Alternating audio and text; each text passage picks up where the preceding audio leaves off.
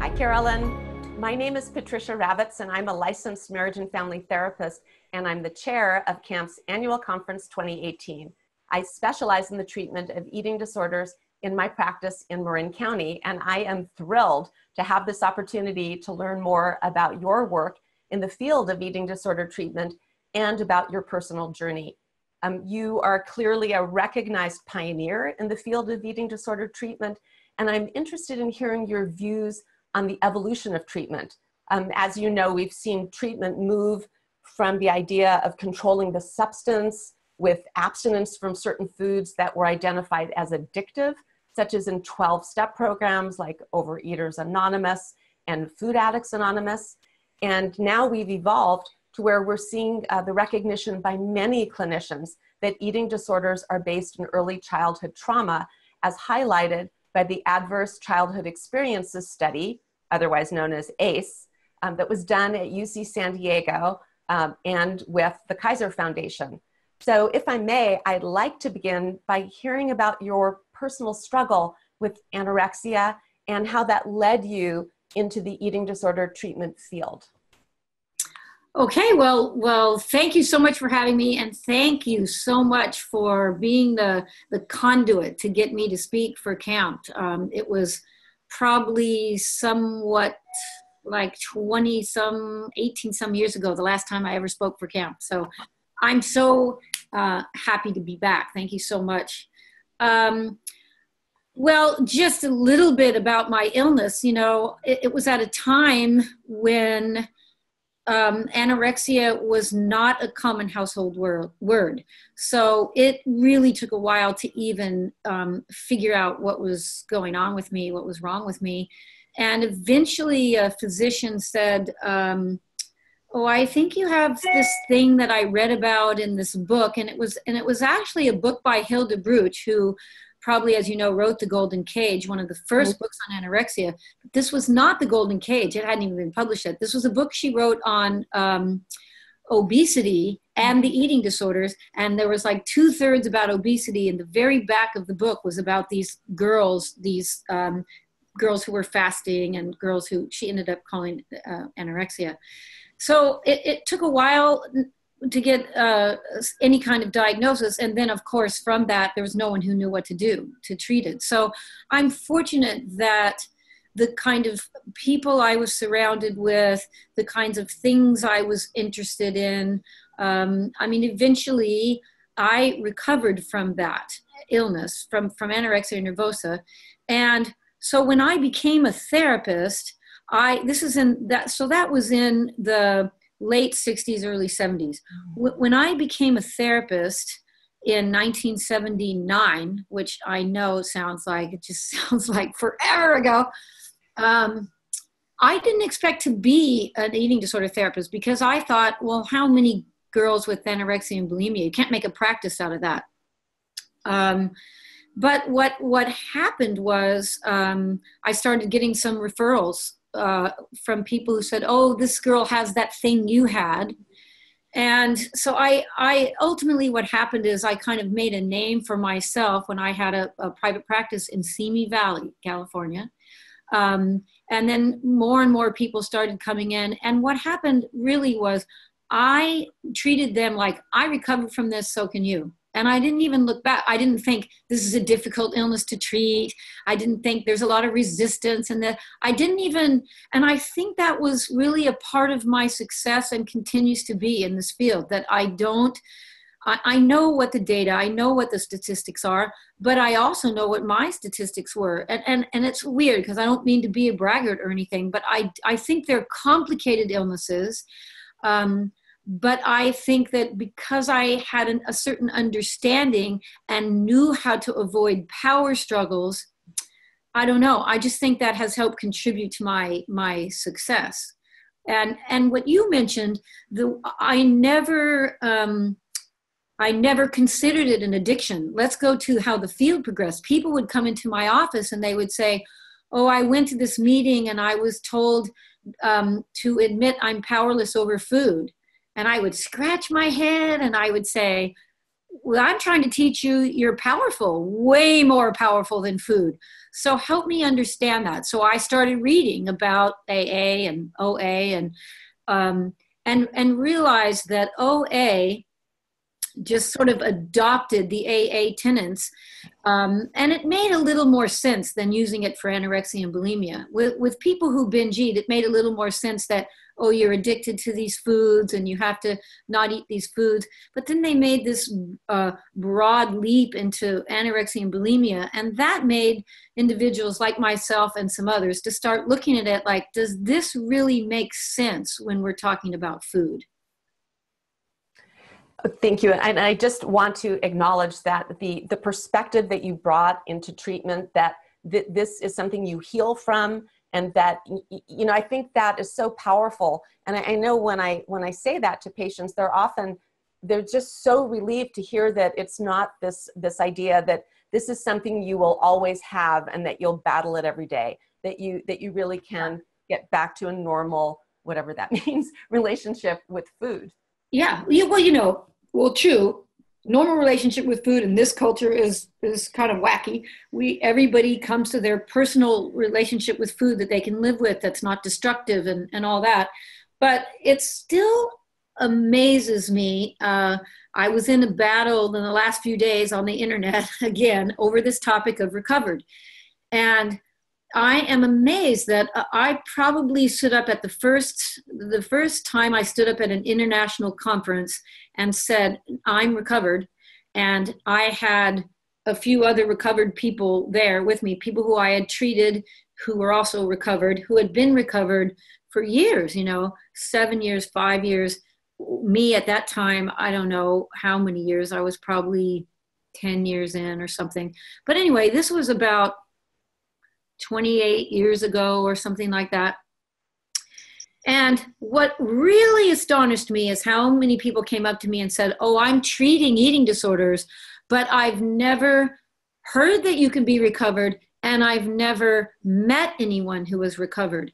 And I thought, imagine treating cancer or depression or, or anything mm-hmm. and never having seen someone who has recovered and i thought i i've got to really speak out. I have to go to more conferences. I have to teach that this can really be something that you get over. And i'm still fighting that. I used to fight it with the 12 step group and now as you talk about the evolution of our field in the 80s the whole genetics thing yes. well, it started probably in the late 80s but really only it was only really in the i shouldn't say 80s more in the 90s and the early 2000s all the genetic studies.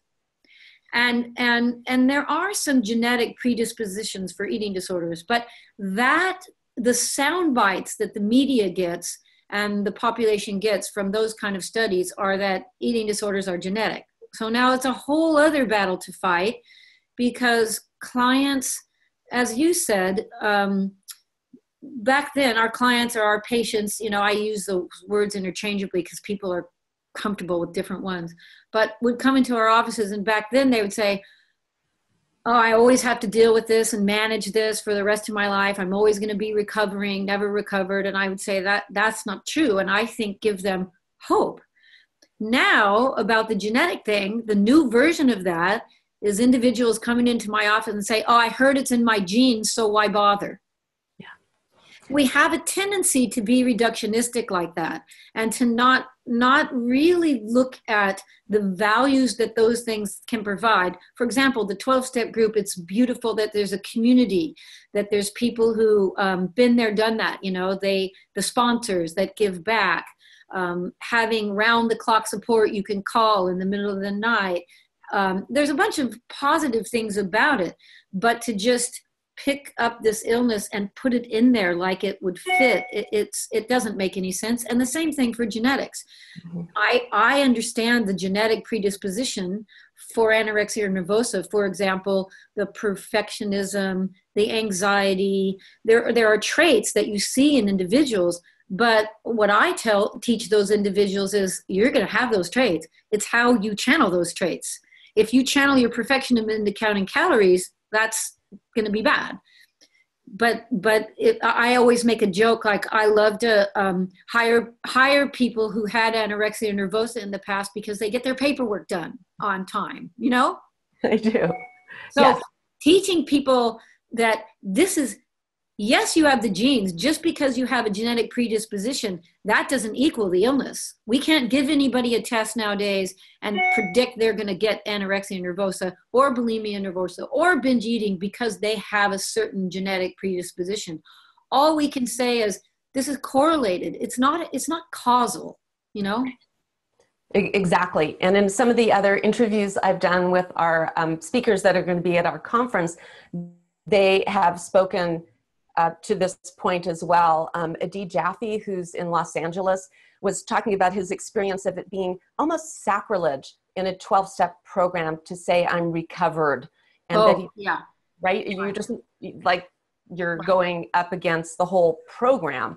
Right. And the shaming quality of the anonymity of those programs. And I think with eating disorders, you know, it's, it's, um, except for bulimia, where I think that sometimes you know people in um, you know in the circle of friends and in family may not really have any idea that this person is purging or, or doing right. other to keep their right. weight down um, but when you have binge eating disorder or anorexia you know it's it's more obvious and i think that you know speaking to this other question of genetics or brain chemistry um, in our conference because the the focus of the whole conference is addiction um, I, I, hope that you're able to catch some of the other talks. We have Gabor Mate, who's going to be there with um, Vincent Felitti talking about the connection with the early environment. So, so rather, as you're saying, than it being causal, that it's really that you know you're you're not getting the support you need, or you're having trauma that isn't dealt with, and so you turn to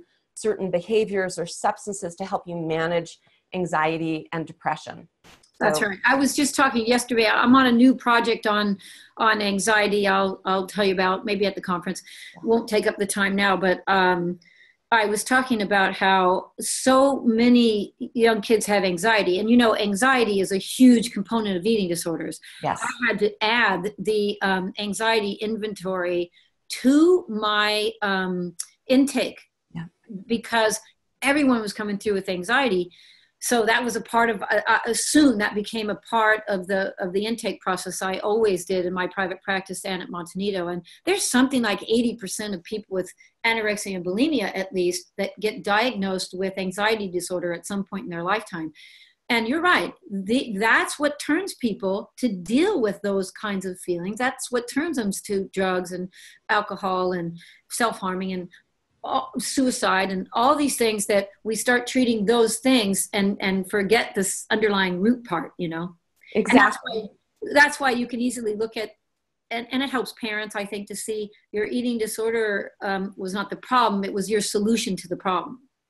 But so well stated and something that i, I often um, will will say in you know in the treatment room is that um, if you have the support and the understanding and the empathy from a person in your life really turning to a substance would be uh, such a, a, like sad substitute because you could get it really from a human which is really what we're all seeking. But when you don't have that and your your environment isn't providing that that it's a survival mechanism to turn to a substance or a behavior that calms you or also helps kind of push you out of your depression so you can function in the world well, you will love, you don't know about this yet, but you will love a new book that's coming out that I just participated in. I wrote the chapter on um, therapeutic presence in terms of healing trauma. And I didn't want to talk about evidence based, I didn't want to talk about all the trauma theories and stuff. The, the book is has a lot of different authors. My focus was what does your presence in the room with this person how does that facilitate healing?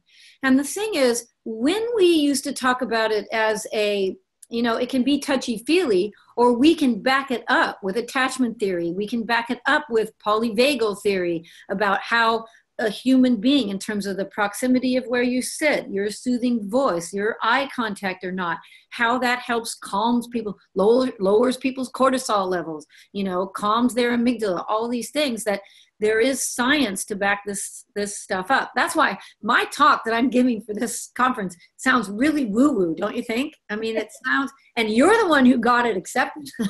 I did, I did. I don't know how you did that, but it's making me a little nervous because I was looking at my handout and I thought, the only other time I gave this talk, I gave it to a group of people who had heard me speak a bunch of times. So I just went for it. So now I'm looking at rearranging it so I don't start off talking about atoms, I mean, and quantum theory. But but the reality is neuroscience and and and ancient texts like Buddhism actually have a lot in common and and quantum physics actually has a lot when you when you when you look at things on a quantum level there are things that we realize about the nature of reality and about just this simple fact energy follows thought, and what we pay attention to and how we pay attention shapes the course of our life and our happiness. And you can find that all over quantum physics, you know.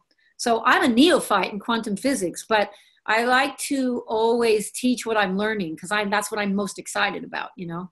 Yes, well, I'm really excited. I can't wait to hear your talk, and because I tend to read about quantum physics and I use uh, even some of the examples that you know that you mentioned in treatment um, because I think they're really effective. So to have you do a talk where you're tying all of that together, I'm really excited about. I'm going to ask you a little bit more about your talk, but I just wanted to see before we do that if there was anything else you wanted to share about your evolution as a professional treating eating disorders. Have you have you noticed like a shift in your own approach?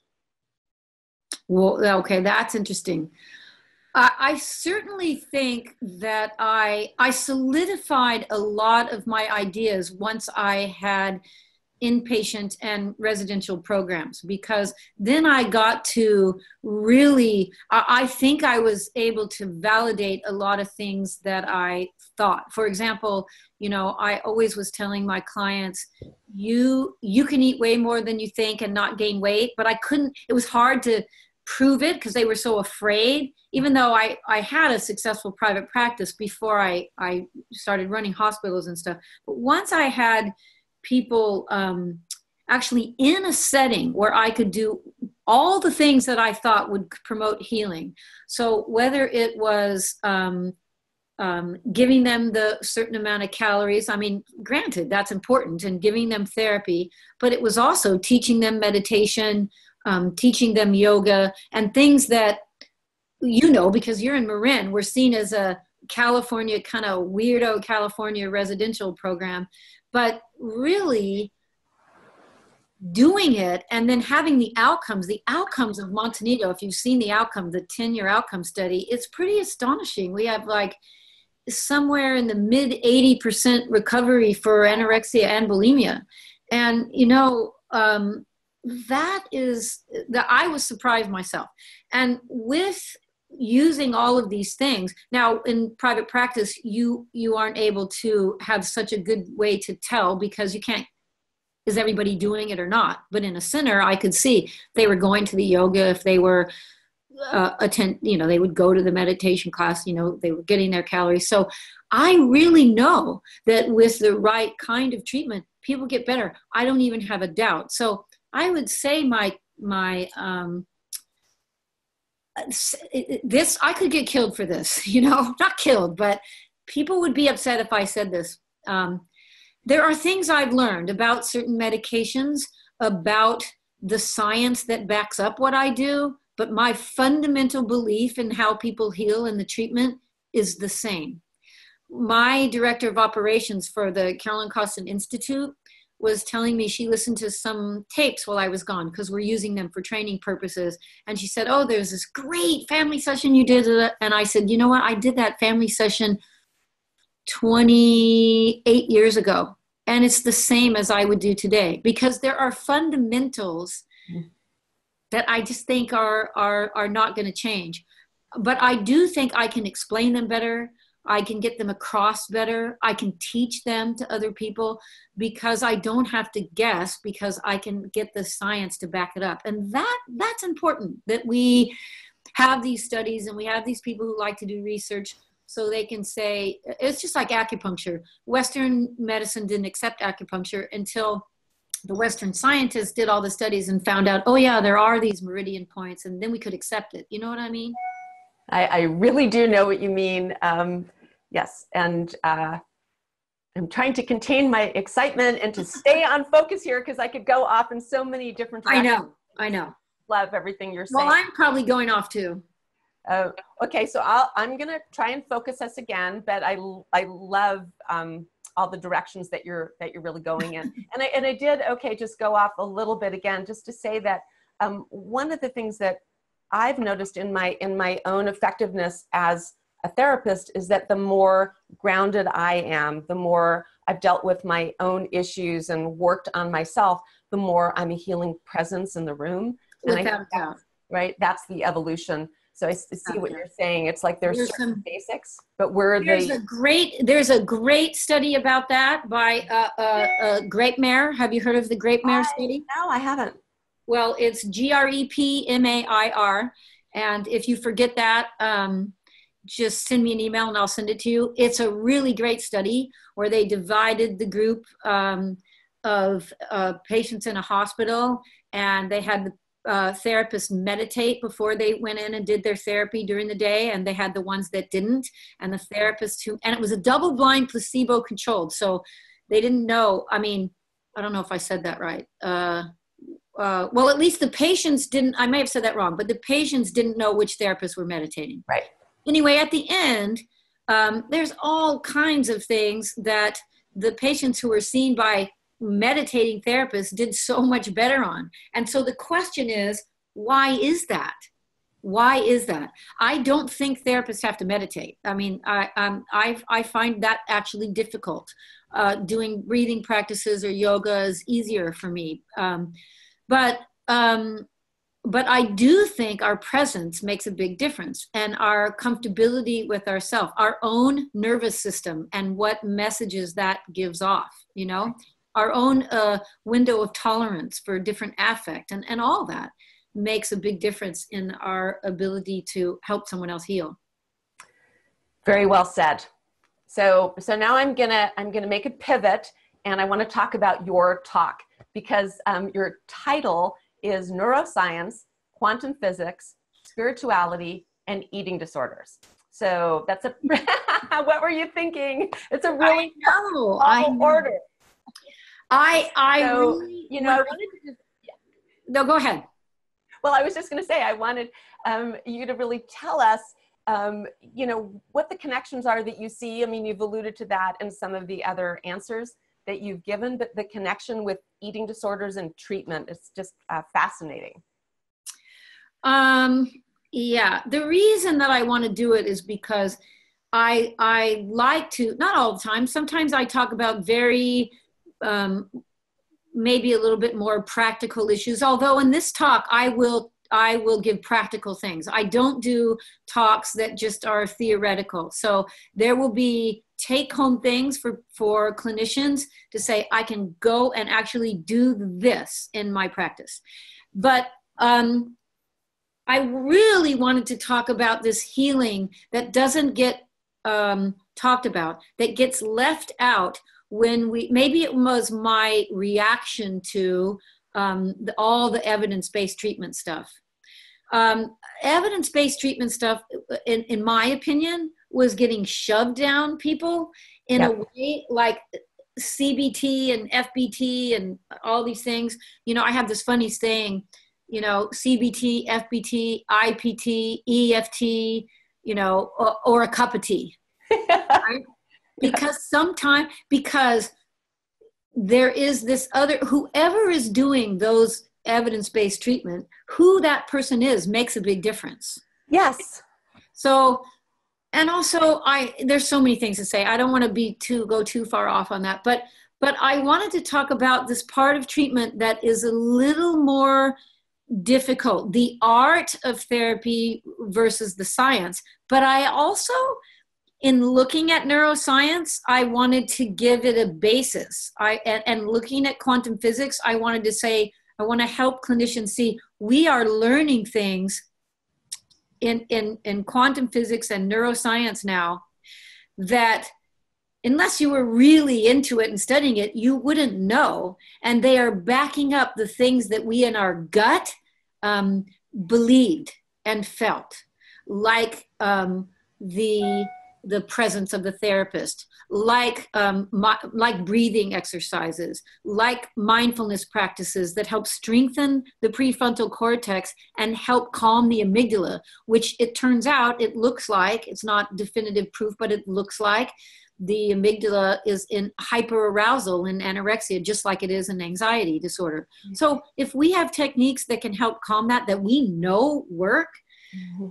Yes, they used to be thought of as spiritual, like meditation, but there's neuroscience to back it up. The quantum physics is a little harder. Um, but there are things that we're learning about quantum physics about like i said the nature of reality what we pay attention to the connection what i the main thing that i think the quantum physics piece does is help explain to to someone who's suffering you are not um, a separated self like you think you are. You, you are connected in a way that that you you're not in touch with.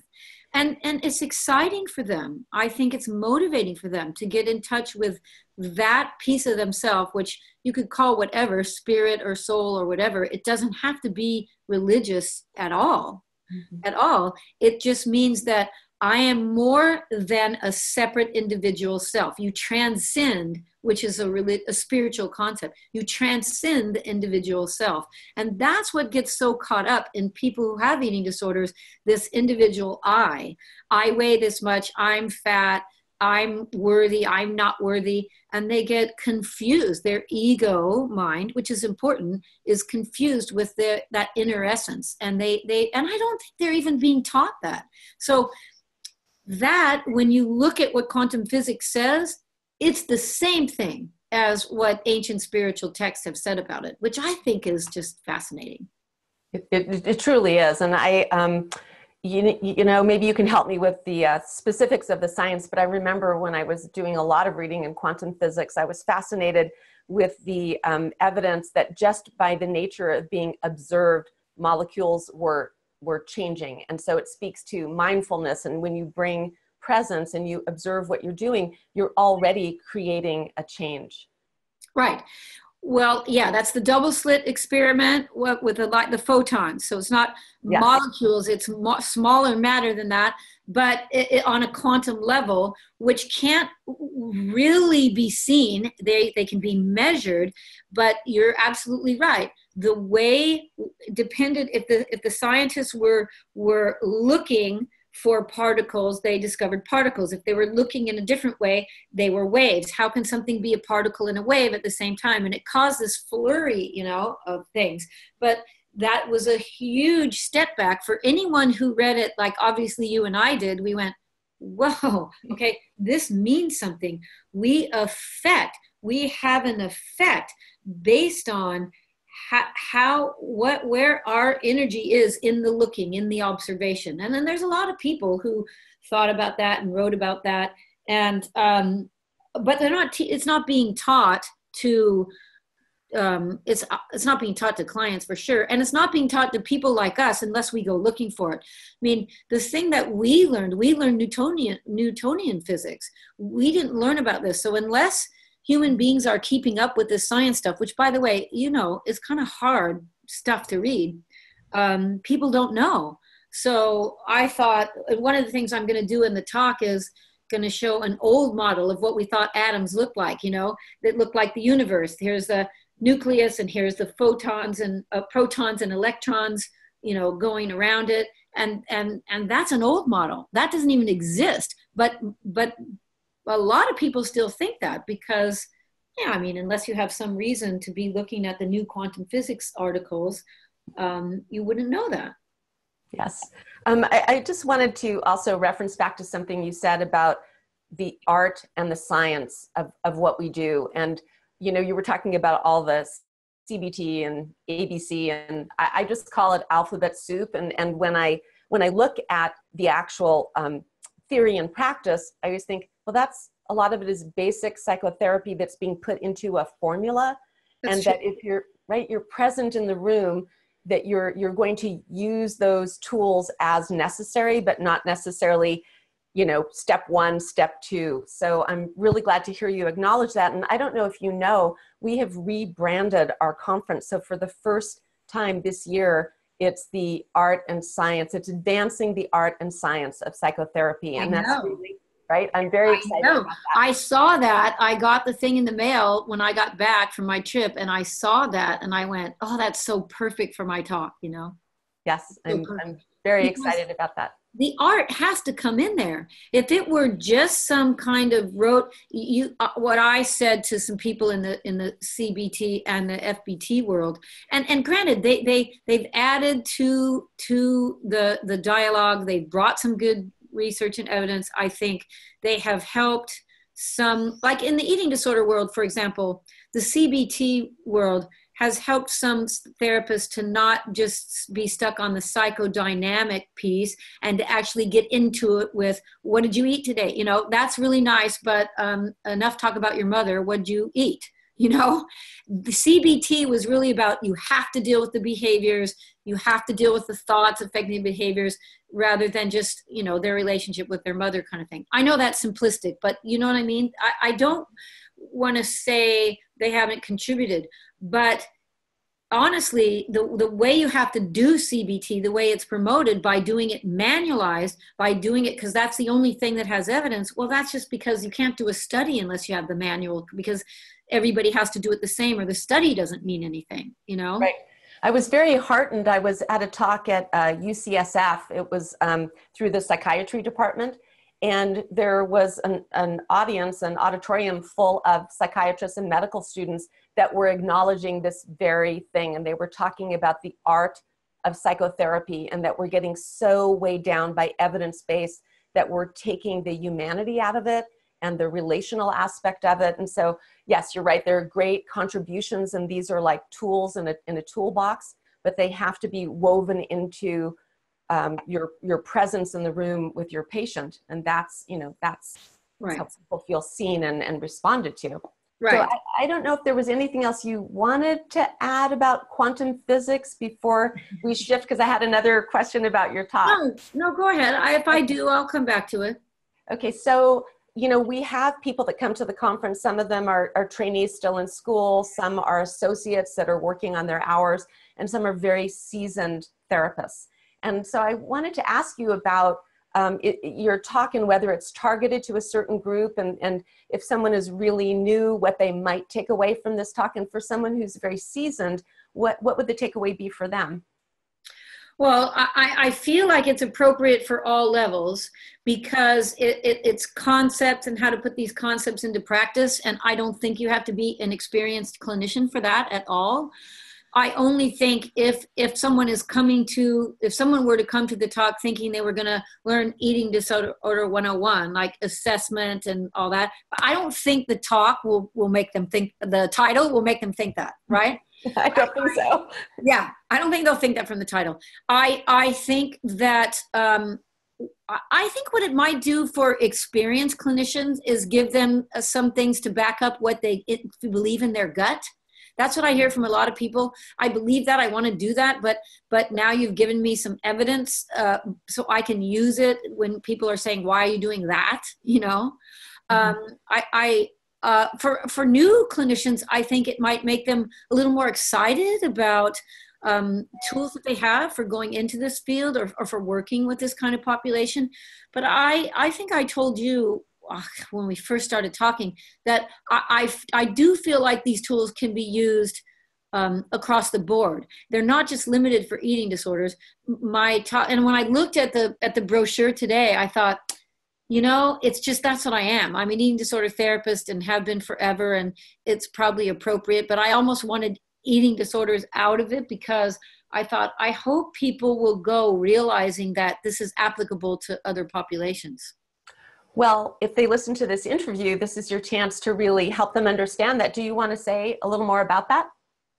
Well, because like uh, we were talking about earlier, the the everything that's talked about is really applied to the underlying healing, and the underlying healing, whether whether the problem the person has is using drugs or using food or you know restricting from food or um, self-harming or alcohol or gambling or sex whatever it is that this talk really is about how you connect with and heal the underlying part that causes somebody to reach out to those kinds of things.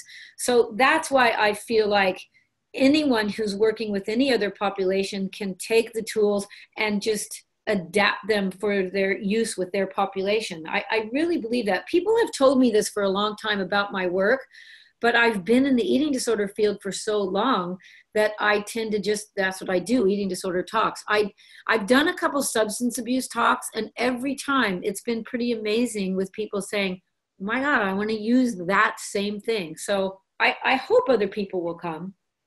Well, that's what I love about the direction our our um, you know our field is really going in because there's this acknowledgement now that you know whatever the substance or behavior is that the underlying issues are so similar. And so you know whether you're sitting in a in a workshop that's about um, people who are using drugs or alcohol or any of these behaviors that you mentioned or food as a substance or or not eating as a way of you know controlling um, different states of being that un- the underlying issues are the same. So um, I, I, agree with you that it's going it would be relevant for people who don't necessarily specialize in eating disorders and sometimes don't realize because they haven't asked the question that the people that um, that they're treating are actually struggling with food and struggling with their relationship with their body but well, know, this is a good. This is a very good point. Uh, the chemical dependency treatment centers that I I've consulted with a lot of them, and one of the things that they realize is like, for example, they'll get people amphetamine users, cocaine users, meth users and they're they're treating their addiction but underneath that addiction is an eating disorder. And the person is taking those drugs because they have an eating disorder. Mm-hmm. and that then was if that's not addressed it doesn't matter how many 12 step meetings they go to. Well i shouldn't say it doesn't matter but you know what i mean? They and then underneath the eating disorder is the other level of why they have that. So we have to get down in the layers. And sometimes specialization is good but sometimes over specialization creates the same kind of thing that I see sometimes with my doctors. I had an illness recently, and it was a very, very, very particular thing. But what happened was I had all these specialists looking at each piece of it, right? This mm-hmm. one, the pituitary specialist, this endocrinologist specialist, this adrenal specialist. But I was like, where's my conductor of the orchestra? Where's the person that can look at my whole system and, and look at the whole being? You know, specialization is good, but sometimes we lose the, the can't see the forest for the trees because of it. Yes, very, very well said. And um, one of my first jobs was at a methadone treatment center. That was when I when I was working on my hours, and um, what we saw often was that you know eating disorders emerged, and when you got a history from a patient, they that was really their first kind of addiction or substance use, and then they added on and added on, and so it was like uncovering and going backwards, and then as you said, getting underneath to why they were turning to food at such an early age. You know, when if you go to 12-step meetings, you'll you'll see that back table loaded with, you know. Uh, coffee and all kinds of sweets because people are focused on sugar. I know. And they're smoking. Lots of smoking. You know? It is it is really interesting. Yeah, it's that's that's that's really true. I want to thank you so much. This has been fun and just very validating for me as a as a therapist and I know other therapists are going to feel this way and just happy to um, help get out the word about. Oh, thank you! Really, thank you. I feel so appreciative you you had me do this. Yeah, thank you very much, and we'll be seeing you soon, end of April. Yeah. Yep.